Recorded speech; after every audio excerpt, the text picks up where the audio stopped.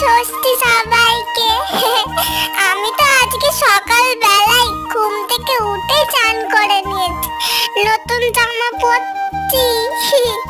আমার মামা বলেছে আজকে ঠাকুর দেখতে নিয়ে যাবে। কি মজা কি মজা কি মজা। খুব মজা হবে। কত কিছু খাব, কত ঠাকুর দেখব। তোমরা কালকে কত ঠাকুর দেখলে? আজকে বেরোবে তো? হ্যাঁ?